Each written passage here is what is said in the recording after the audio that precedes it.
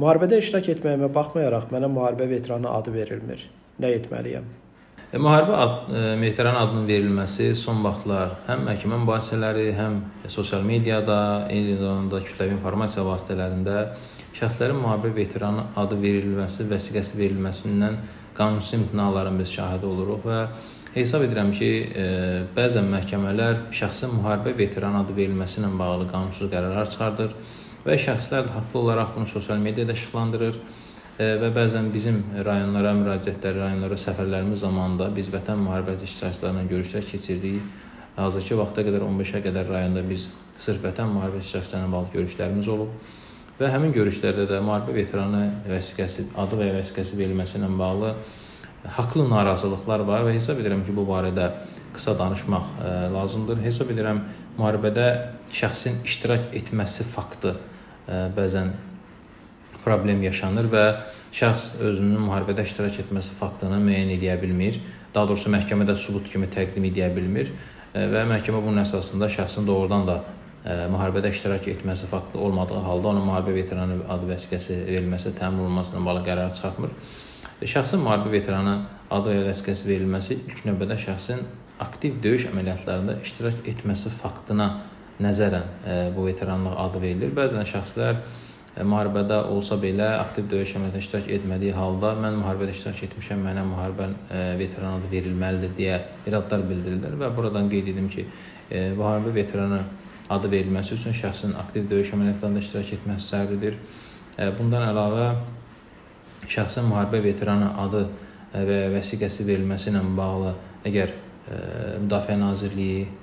şəxsin barəsində müharibə veteranı adı verilməsini imtina edirsə, bu həmin müharibə veteranının adının verilməsi e, vəzifəsinin Müdafiə Nazirliyi üzərinə öhdəlik qoyulması ilə bağlı şəxs məhkəməyə müraciət edə bilər.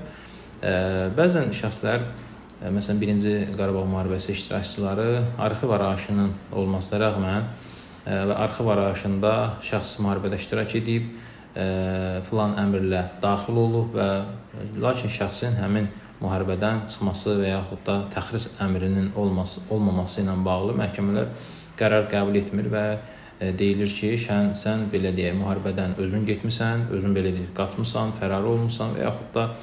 e, öz iradəndən ə, e, asılı olan səbəblərdən müharibədə iştirak etməmisən. Lakin burada ə, şəxslər əgər belə bir ə, məhkəmələrdə belə bir ziddiyyətlə qarşılaşırlarsa, məsləhət görərdim ki, həmin və hiss edirlər ki, məhkəmə artıq onların xeyrinə qərar qəbul etməyəcək. O halda məhkəmə icraatını dayandırıb şəxsin müharibədə iştirak etmə faktının müəyyən edilməsi ilə bağlı xüsusi əhəmiyyətli faktın, yəni təyin olunması ilə bağlı məhkəmə müraciət etsin və əgər məhkəmə müraci həmin müraciəti, yəni xüsusi icraat qaydasında ərizəni təmin etdiyi halda ki, bəli, sənin müharibədə iştirak faktın var və məhkəmə qaydasında o da təsdiq olunursa, artıq ondan sonra şəxsin belə deyək, müharibə veteranı adı və vəsiqəsi verilməsinə bağlı müraciəti məhkəmə qaydasında müsbət həll oluna bilər. Yəni bu e, belə deyək, qanunda müəyyən şəxsə verilmiş müəyyən e, üstünlükdür və bəzən şəxslər birbaşa elə mən müharibə veteranı adını almaq üçün birbaşa verim Müdafiə Nazirliyinə, Müdafiə Nazirliyinə imtina alım. Bu bəzən yetərli olmur. Çünki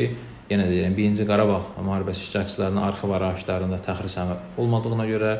və bu xüsusdan ə,